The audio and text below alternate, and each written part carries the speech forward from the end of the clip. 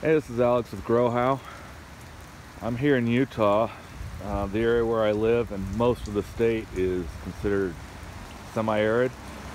We like the term desert and there is a lot of desert in Utah, but uh, where I'm at is technically semi-arid. We get, depending on who you talk to, in my location, 12 to maybe 18 inches a year on average of water.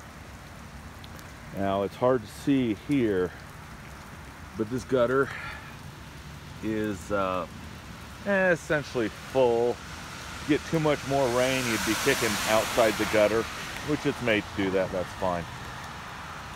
Today is a moderate rain. This isn't a heavy rain. I want you to look at all that water and think about how long it would take to gather enough to start putting water into that planting area. Now this is new. I haven't done anything with it yet because hey, it just got installed this year and uh, it's going to take me a lot of work. Uh, but if you think about it, if you could do a cutout on that curb, kind of like uh, a ramp to a sidewalk, maybe just a little bit lower, and if you were to lower the soil level in the mow strip next to it, you would be able to gather a huge amount of water on just a medium rainstorm. It's been going on, I don't know how long. I've been up a couple hours. It's been raining since then. Uh, I could have gathered, I don't know how many gallons for this whole sidewalk area if I had something that was designed properly. I would like to do that. The problem being, it is illegal because this isn't my gutter. This is the city's gutter. And I appreciate it. It's a new gutter. They just put it in um, it's going to solve a lot of problems, but it's not going to collect any water.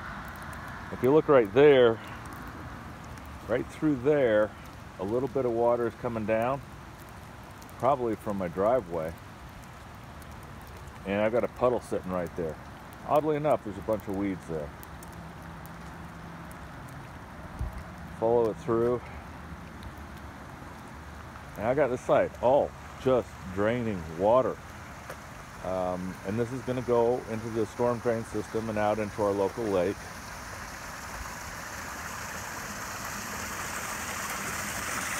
Look at all that water. It's water that I can't use. It's water that's not adding to anything in this neighborhood. If go down to the lake, that's fine, but it's not even going to recharge our aquifer, which is normally what would happen over this whole road area.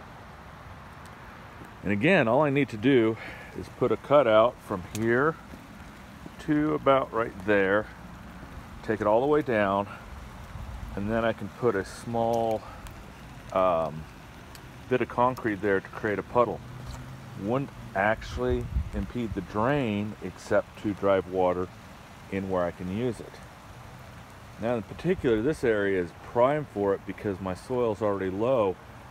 So I just take out the rock dig out areas to pool the water in and, and place that soil back where it's already still low. And I wouldn't actually have to do much taking out of the soil. Again, this is a wasted area. I could put more bee food here, which is what this is, or I could put something like a columnar apple here and I could have production from it. And again, that water would recharge our aquifers uh, which it's not doing now. Something to think about. All I need is somebody saying I, I can actually do it legally because, hey, my neighbors would get really mad if they found me doing something sensible with an area that's otherwise this has not been used since they put the rock in it except for the plants I put in uh, which my neighbors tried to kill very very friendly neighborhood but again we can make it productive that's Alex. This is Grow How. Please do me a favor, hit the subscribe button. And in this next year, I want to talk a lot more about water conservation. Had a bad drought, and it's not over yet. Catch y'all later. Manana.